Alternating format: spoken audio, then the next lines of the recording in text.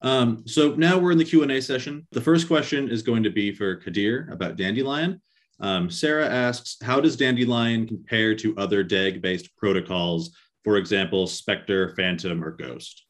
Dandelion is not DAG-based, first of all. Maybe I couldn't show you, you know, uh, it is, our blockchain structure is not really DAG. It is, uh, we, are, we keep the chain structure. As you see, we have macro blocks appended to the ledger.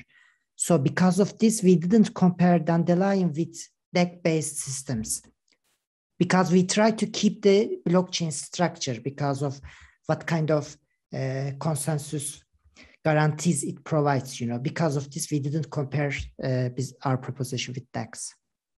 Yeah, I, I was just curious because I saw this kind of bucket style and multiple leader. That looked very similar to what I've read in, in Marco's work about BFT Mir. Can you explain what is the, the difference between those two ways of doing that? Uh, basically, you are right. Actually, uh, it is it is available in Mir BFT. Actually, I cited here the third one is the Mir BFT. Also, this kind of design available in Mencius and Mencius BFT also. So basically, right. Uh, they have similar approaches when we look at uh, the the how what they are doing, but the end result is a bit different because in the case of Mir BFT, uh, it is applied to improve the wide area network uh, performance of PBFT, as far as I remember, if I am not mistaken. Uh, yeah, I think I think the reason there is well, you want to be able to scale past the network the network bottleneck of having a single leader, right? So having multiple leaders and doing so without incurring request duplication. Yes, exactly. Uh, what is different here?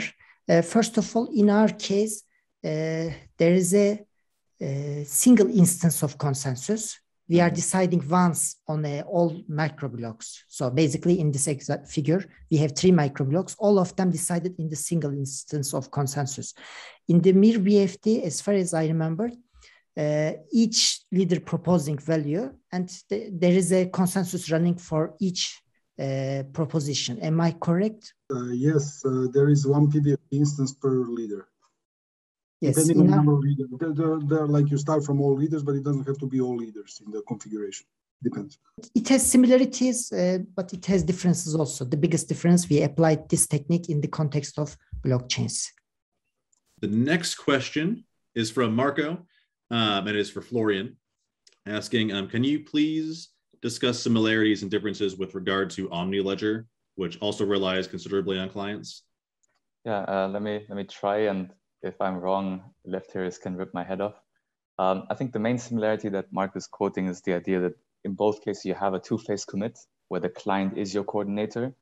I think besides that, the differences are there. There's not many similarities. Rather, um, OmniLedger uses a UTXO model, and what clients are locking are their own coins, right? These are their own their own assets that they're responsible for. Nobody else cares about them. So there's no concept of concurrency between those. If a client in OmniLedger dies or whatever, or loses its private key, it, these transactions, these assets are just frozen forever. It loses asset, it loses access to these assets, and uh, no other client cares about those though, right? So you don't need this kind of client-to-client recovery mechanism where you're finishing um, block transactions. Um, the other thing is, since OmniLedger is so a difference between Basil and OmniLedgers, of course, OmniLedger is permissionless or it tries to be and subsamples these shards and it dynamically redoes these shards. That's something we don't do. Instead, we don't need a BFT, a totally ordered or state machine replication protocol like ByzCoin, which they use in OmniLedger to order all transactions right? There is no such thing as an order. Each client does their own transactions, ask for their concurrency control result, and replies back.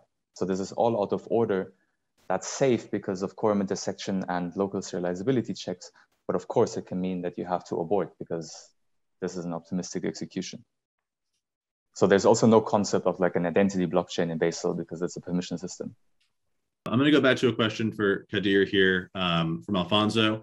And it's a, do you have numbers of the computational overhead for individual devices running Dandelion compared to baseline Algorand? Uh, the, basically, we did this kind of analysis. First of all, uh, the number of computation means basically before submitting a block, uh, nodes validating transactions and so on. So basically, nodes are submitting smaller blocks. So the cost is uh, smaller uh, when we compared uh, with Algorand because in Dandelion, uh, as I said, uh, in Algorand case, single leader submits a big block. In the Dandelion case, many leaders submit smaller blocks. but we didn't measure the really how much uh, computation costs adds line. But what we observe, we observe in overall, it is doing a lot better than Algorand. We didn't really measure the cost of dandelion computation costs. Marco, I wanted to let you expand a little bit on a comment that you made um, directed toward Ray's presentation, specifically talking about did you consider combining Kauri with multi-leader approaches, um, especially since that was kind of touched on in the first question. So I wanted to let you expand on that and then see Ray's um, response. Yeah, So, so from my experience, what definitely uh, so what makes Kauri scale better than PBFT in, and HotStuff is not uh, message complexity. I mean that, that metric is irrele- irrelevant. What's important is fan out, because like both HotStuff and PBFT have a bottleneck replica fan out of ON, and Kauri doesn't. So that's fine, and it's okay. It's, it's normal that you get advantages uh, in in single leader deployments. Now the question is, as you are moving to multi-leader deployments, a la Mir, a la, we had Vincent mentioning uh, uh, Red Belly and others. It's questionable whether this will stay. So did you did you did you deploy Kauri? I'm not saying it won't, by the way. It's just interesting to to, to experiment with. Uh, did you deploy Kauri in the multi-leader setting? This is actually the question. Uh, no, we didn't uh, deploy it in a multi-leader setting, but that was one of the things we wanted uh, to do in the future as well to expand upon that. Yes, I agree that the, the main problem is actually that the leader has to send the n blocks out, which is then the huge cost on the bandwidth, and then the leader or then each process has to uh, verify all n signatures, which then is then the cost on the bandwidth and the computation. Um, I, I, was curious why you take this hard stance that the the complexity doesn't matter of PBFT. I guess you're assuming that you are always using max, but I think that's not necessarily practical in many blockchain systems now. I know Microsoft does a lot of work on this called PAC, where you try to have auditability, and with MACs you lose this non-repudiation property. So in practice, you do want to have signatures, and that that is n squared. That's not really desirable. So you can turn PBFT into a linear setting quite easily. That's what SBFT does basically and some other stuff. So is that what you're getting at, or why you're happy with the n square? So I agree, message complexity wise, it doesn't matter. I'm worried about the signatures. So signatures, so it's interesting to decouple, for example, block signatures from message signatures. So if, if, you, if you keep uh, auditability and, uh, you know, signatures for equivocation and whatnot, it still doesn't mean that you need to sign each and every message as like the original PBFT with, with message signatures would do.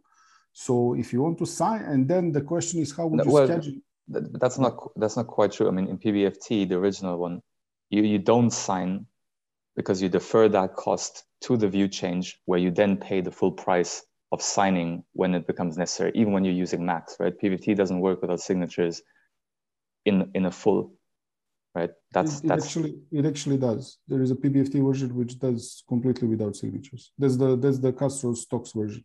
Yeah, yeah, that, but it still uses signatures. I just read it two weeks ago. Maybe I'm wrong.